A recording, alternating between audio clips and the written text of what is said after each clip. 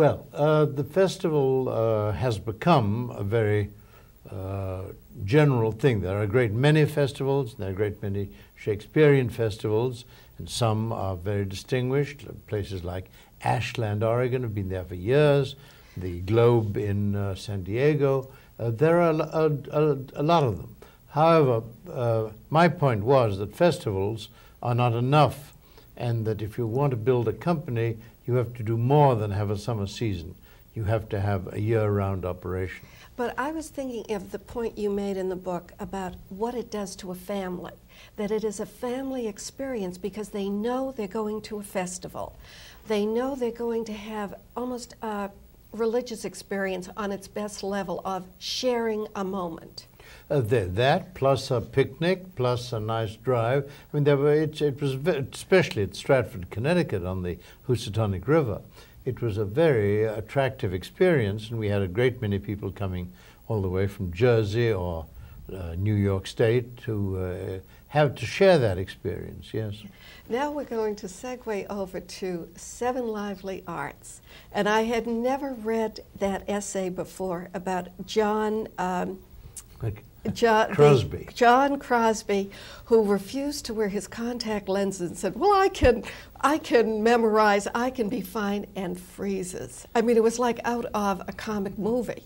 Yes, well, it was true though. He did freeze, and of course, everybody, every reviewer in the country was laying for him anyway because he was so successful as a reviewer that they were all envious, and here was a chance for this man who'd uh, sort of uh, bested them as a reviewer and who'd taken this reckless opportunity to appear as a performer and blew it. And they were very happy about that. And you know, you said the most silence was really all of 18 seconds. But anyone who has ever been in an editing room knows that 18 seconds oh, is a, a lifetime. It is a lifetime especially in those circumstances. Yeah. But the show, The Seven Lively Arts, they didn't pick it up. CBS would not go along with it because of ratings. Well, uh, no, not so much the ratings, actually. They uh, hoped if they'd had a. Uh, the opening was unfortunate. After that, we did some wonderful shows. But CBS, it was a sustaining show, that's say they had to pay for it. And uh, they always hoped that early in the run they would sell it to a, mm-hmm. a commercial outfit for advertising, and they didn't. And so they got a little discouraged. Instead of doing the original 22 shows, we ended up doing, I think, 12 or 13. And we got preempted with, for football games and things. However, we did get the Emmy, the Academy Award for the Best New Show of the Season. And about four or five of those shows were really remarkable. Have they been saved?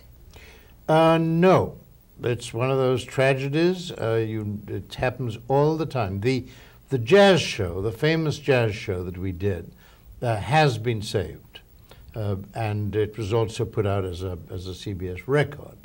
Um, um, another wonderful show that we did about the, uh, uh, the coal mine disaster in Illinois has not been saved, and I am not able to get hold of it. Now, it probably exists somewhere in a vault but it's not even at the Broadcasting Museum. The jazz show is, but uh, uh, that is the fate of a great many um, films and a great many famous television shows that they are simply not properly preserved. It's a tragedy. John, in between, you would come to MGM, and we did talk about that at one point, but I had not realized that when they allowed you to do Julius Caesar till I read Hit, that was sort of like throwing you a bone. Not a bone. It was a reward. I'd uh, made some very. I'd made the uh, uh, the Bad and the Beautiful. I'd made uh, Executive Suite, and um, as a reward, um, they gave me a Julius Caesar to do, which I was uh, enchanted and desperately wanted to do. That was possibly one of the more perfect films I have ever seen. We're going to take a short pause. When we come back, let's talk about the chemistry of you, Mankiewicz, and the cast.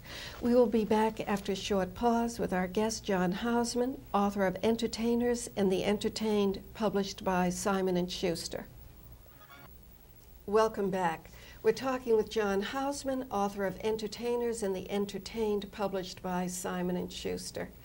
John, before the break, I said to you about Julius Caesar, Yes. the film. But before we get to the film, Julius Caesar, as a play, as you talk about, had played a very strong role in your career. It has indeed. It was the first production that we did at the Mercury Theatre, as directed by Orson Welles, and it was a very famous and enormously successful production.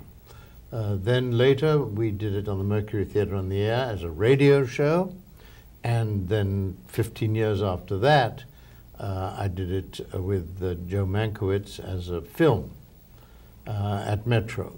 And uh, I think uh, in certain ways, I'm, I'm not claiming uh, supremacy, but in certain ways, I think it's one of the most effective films ever made on a Shakespearean subject. Of course, the Olivier films are wonderful too, but th- this, as simply as a as a piece of film drama, has come out very, very well.